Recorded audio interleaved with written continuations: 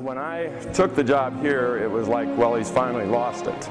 And, uh, but I, I felt that this, this is a great, great place to be. It's a great, great city. This is a great university. And I was passionate about coming here and, and trying to get this thing going.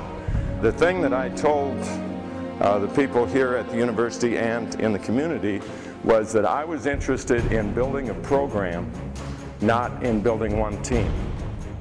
I've always been a strong believer that if you start with good people, good people will find a way to be successful.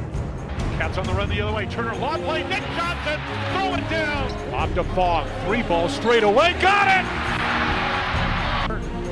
And his shot is inside the arc. Missed it two. Offensive rebound. Hill dribbles once, put it up and scores. Trip.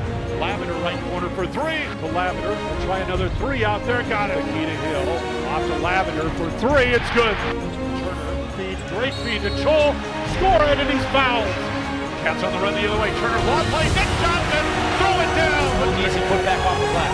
Solomon Hill, the Pac-12 player of the week, and an offensive foul at the other end. Walker drives to the baseline, Grabbed by Nick Johnson. Cats pushes the other way. Nick quickly to Perry to the bucket, jam it home by Fogg ahead to Nick Johnson. Nick to the bucket, throw it down with two hands. Jacobson to shoot. He does from the left elbow and scored it. Fogg. Fogg's going to drive to the bucket. No good. Oh, he scored it. And he's fouled by Cunningham. How did oh. that go in? Well, and Kyle Fogg was talking to oh, Jerry. Oh, and now Cunningham.